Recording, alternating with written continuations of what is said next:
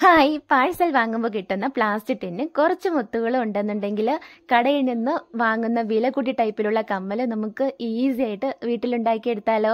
അപ്പോൾ നമ്മുടെ പ്ലാസ്റ്റിക് ടിന്നൊന്ന് കുറച്ച് പീസ് ഞാനൊന്ന് കട്ട് ചെയ്തെടുത്തിട്ടുണ്ട്. ഇതുപോലെ സ്ക്വയർ ഷേപ്പിനൊന്ന് ഇനി അതിന്റെ എന്താ ഏറ്റവും മുകളിലായിട്ട് ഒരു റൗണ്ട് കുഞ്ഞ് ഷേപ്പിലുള്ള സ്റ്റോ നമ്മുടെ കുന്തൻ സ്റ്റോൺ ഉണ്ടല്ലോ അതൊന്ന് വെച്ചെടുത്തിട്ടുണ്ട്.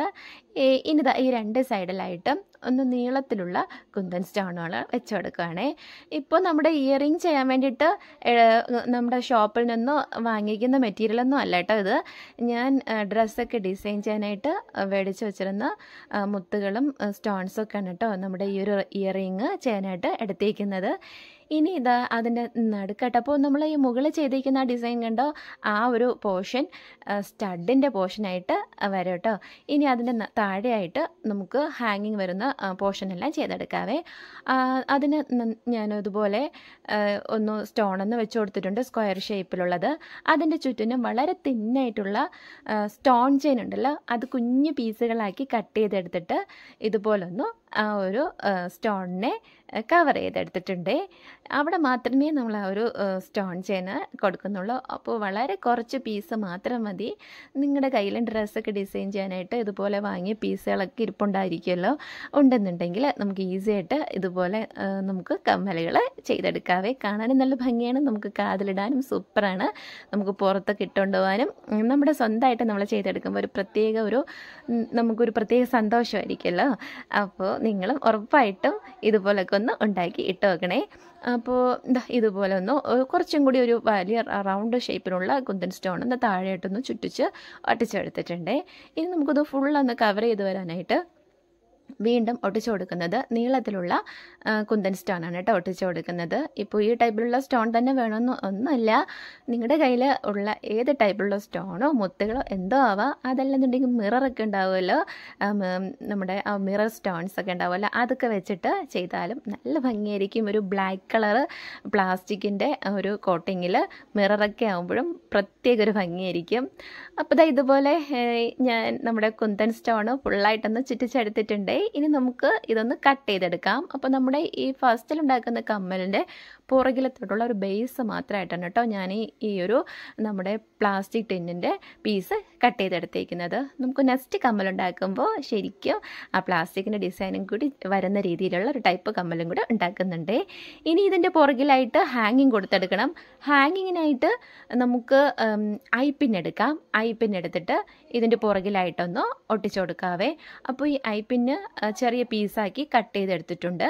ഇനി നമുക്ക് ഹാങ്ങിങ് കൊടുക്കാവേ. ഇപ്പം നമുക്ക് എത്രയാണോ വേണ്ടുന്നത് അത്രയും ടൈപ്പിലുള്ള ഹാങ്ങിങ് കൊടുത്തെടുത്താൽ മതി. ഇപ്പോൾ ഞാനത് ചുറ്റിനും ഇരിക്കുന്ന രീതിയിലാണ് ഒന്ന് ഹാങ്ങിങ് കൊടുത്തിട്ട് കൊടുക്കാൻ പോകുന്നത്. അത്യാവശ്യം നല്ല തിക്കായിരുന്നോട്ടെ.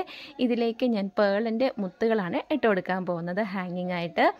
അപ്പോൾ ഇതുപോലെ ഒന്ന് റൗണ്ട് ഷേപ്പിന് തന്നെ നമ്മുടെ ഈ ഐ പിന്നെ ചുറ്റിനും വെച്ചിട്ടൊന്ന് ഒട്ടിച്ചെടുക്കാം അപ്പോൾ ഈ ഐപ്പിന് നന്നായിട്ട് ഡ്രൈ ആയതിനു ശേഷം മാത്രമേ നമുക്ക് ബാക്കി ഇതിലുള്ള വർക്കുകളൊക്കെ ചെയ്തെടുക്കാൻ പറ്റൂ. ഇപ്പോൾ ഇത് നന്നായിട്ട് ഡ്രൈ ആയിട്ടുണ്ട് കേട്ടോ. ഇനി നമുക്ക് ഇതിലേക്ക് ഹാങ്ങിങ് കൊടുത്തെടുക്കാം. ഹാങ്ങിങ്ങിനായിട്ട് ഈ ഒരു ടൈപ്പിലുള്ള പേളിന്റെ മുത്തുകൾ എടുത്തിട്ടുണ്ട്. അത്യാവശ്യം വലിയ ടൈപ്പിലുള്ള മുത്തുകളാണ് എടുത്തിരിക്കുന്നത്. ചെറുത് വേണമെന്നുണ്ടെങ്കിൽ ചെറുതെടുക്കാം. ഇപ്പോൾ പേളിന്റെ മുത്തില്ല എന്ന് വെച്ചിട്ടുണ്ടായിരിക്കേണ്ട കയ്യിലുള്ള ഏത് ടൈപ്പിലുള്ള മുത്തുകൾ എടുത്തിട്ട് നമുക്ക് അടിപൊളിയായിട്ട് ഉണ്ടാക്കിയെടുക്കാം. ഇതുപോലെ ഞാനൊന്ന് ഹാങ്ങിങ് ചെയ്ത് കൊടുത്തിട്ടുണ്ട്. ഈസി ആയിട്ട് നമുക്ക് ഹാങ് ചെയ്തെടുക്കാവുന്നേ ഉള്ളൂ. ഇത് ചുറ്റിനും ഒന്ന് ഹാങ് ചെയ്തെടുത്ത് നമ്മുടെ കമ്മലിന്റെ വർക്ക് ഏകദേശം കഴിയും ഡിസൈനൊക്കെ പിന്നെ അതിന്റെ പുറകിലായിട്ട് ഐപ്പിനെല്ലാം കൂടി ഒന്ന് ഒട്ടിച്ചേക്കുന്ന ആ ഒരു പോർഷനെല്ലാം ഒന്ന് കവർ ചെയ്തെടുത്താൽ മാത്രം മതി. അപ്പോൾ അതിനായിട്ട് നമുക്ക് ക്യാൻവാസോ ഒക്കെ വെച്ചിട്ടൊന്ന് ഒട്ടിച്ചെടുക്കാവേ. ഇത് ഹാങ്ങിങ് എല്ലാം കഴിഞ്ഞെടുത്തിട്ടുണ്ട്. കമ്മലിന്റെ വർക്കെല്ലാം കഴിഞ്ഞു. ഇനി നമുക്ക് ഇതിന്റെ പുറകിലുള്ള ഈ ഇയർ പിന്നെല്ലാം നമുക്ക് ഐപ്പിനെല്ലാം നമുക്കൊന്ന് കവർ ചെയ്തെടുക്കാവേ. അതിനായിട്ട് കുറച്ച് ക്യാൻവാസോ അതല്ല എന്നുണ്ടെങ്കിൽ നമ്മുടെ ക്ലോത്ത് ക്യാരി ബാഗിന്റെ ഗോൾഡൻ കളറിലുള്ള പീസോ വെച്ചിട്ടൊന്ന് ഒട്ടിച്ചു കൊടുക്കാവേ. അപ്പോൾ അത് ഒട്ടിക്കുന്നതിന് മുന്നേ ആയിട്ട് നമ്മുടെ ഇയർ സ്റ്റഡും കൂടി അതിലോട്ടൊന്ന് കയറ്റി കൊടുക്കാം. ഇതുപോലെ ഒന്ന് കയറ്റി എടുത്തിട്ടുണ്ട്. ഇനി നമുക്ക് ഇതിന്റെ പുറകിലായിട്ട് നമ്മൾ ചെയ്ത് വെച്ചിരുന്ന കമ്മലിന്റെ പുറകിൽ നന്നായിട്ട് ഗ്ലൂ അപ്ലൈ ചെയ്ത് വെച്ചിട്ടുണ്ട്. അപ്പോൾ എവിടെയാണോ നമുക്ക് സ്റ്റഡ് ഇരിക്കേണ്ടത് ആ ഒരു പൊസിഷൻ നന്നായിട്ട് കറക്റ്റ് ചെയ്തിട്ട് അതൊന്ന് ഒട്ടിച്ചു കൊടുക്കാവേ. ഇത് ഇപ്പോൾ നല്ലതുപോലെ നീറ്റായിട്ടൊന്ന് ഒട്ടിച്ചെടുത്തിട്ട് നന്നായിട്ട് ഡ്രൈ ആവാൻ വെക്കാം. ഡ്രൈ ആയതിന് ശേഷം നമുക്ക് ബാക്കിയുള്ള ക്യാൻവാസ് ഒന്ന് കട്ട് ചെയ്ത് മാറ്റി കൊടുക്കാം അപ്പോൾ നമ്മുടെ ഈ ഒരു പ്ലാസ്റ്റിക് ടിന്നിന്റെ ബേസിൽ ഉണ്ടാക്കിയെടുത്ത കമ്മലുകൾ ഇവിടെ റെഡി ആയിട്ടുണ്ട്. ഇത് അത്യാവശ്യം ഹെവി ആയിട്ടുള്ള ഒരു ടൈപ്പിലുള്ള കമ്മലാണ്. ഇത് നമുക്ക് സാരിക്കും നല്ല ധാവണിക്കൊക്കെ അടിപൊളിയായിട്ട് മാച്ചാവും നിങ്ങൾക്ക് ഇഷ്ടമായിട്ടുണ്ടെന്നില്ല തീർച്ചയായിട്ടും ഒന്ന് സബ്സ്ക്രൈബ് ചെയ്ത് സപ്പോർട്ട് ചെയ്യാൻ മറക്കരുതേ. അപ്പം നമുക്ക് അടുത്ത കമ്മലൊന്ന് നോക്കിയാലോ? അതിനായിട്ട് നമ്മുടെ പ്ലാസ്റ്റിക് ടിന്നിൽ ദാ ഈ ഒരു ഷേപ്പിലാണ് കേട്ടോ കട്ട് ചെയ്തെടുത്തേക്കുന്നത്. അതിലേക്ക് നടുക്കായിട്ട് റൗണ്ട് ഷേപ്പിലുള്ള സ്റ്റോൺ ഒന്ന് വെച്ച് കൊടുത്തിട്ടുണ്ട്. പിന്നെ ഇതാ ഇതുപോലെ നമ്മുടെ ഒരു ഗോപിപൊട്ടിന്റെ ടൈപ്പിൽ വരുന്ന സ്റ്റോണുകളാണ് ഒന്ന് വെച്ച് അതൊന്ന് റൗണ്ടിന് ചുറ്റിനും ഒന്ന് വെച്ചെടുക്കാവേ. ഒരു ആറ് സ്റ്റോൺസ് ഒന്ന് വെച്ച് ഒട്ടിച്ചെടുത്തിട്ടുണ്ട്. ഇനി അതിന്റെ ഔട്ട്ലൈനും കൂടെ ഒന്ന് ഫില്ല് ചെയ്തെടുത്തില്ലെങ്കിൽ ബോറായിരിക്കില്ലേ? അതിനായിട്ട് ഞാനിവിടെ ക്രിസ്റ്റൽ ടൈപ്പിലുള്ള കുറച്ച് സ്റ്റോൺസുകളൊന്നും എടുത്തിട്ടുണ്ട്. അത്യാവശ്യം കുറച്ച് ഗ്ലൂ ഒന്ന് അപ്ലൈ ചെയ്ത് കൊടുക്കുക. ഓരോ പീസുകളായിട്ട് ഒന്ന് ഒട്ടിച്ചെടുക്കാവേ.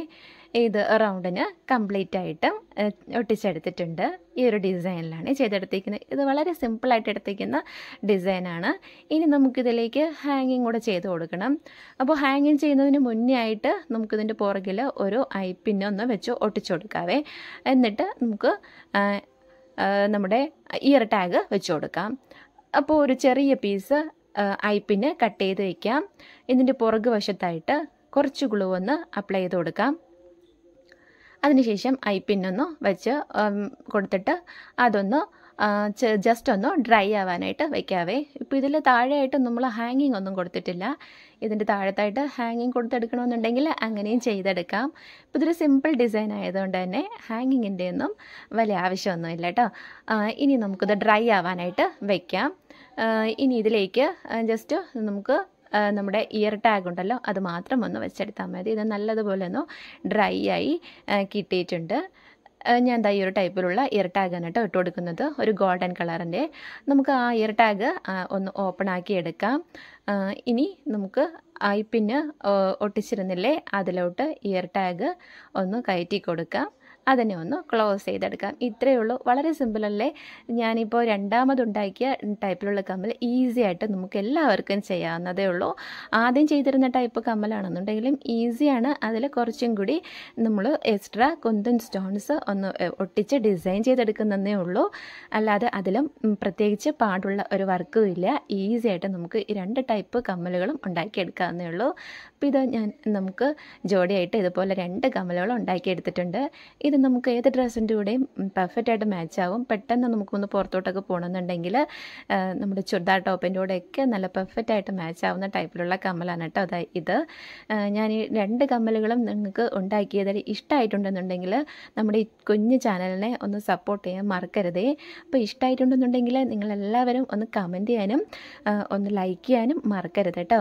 അപ്പം നമുക്ക് ഈ ഒരു ടൈപ്പ് വീഡിയോ ആയിട്ട് നമുക്ക് ഇനിയും കാണാം. അതുവരെ എല്ലാവർക്കും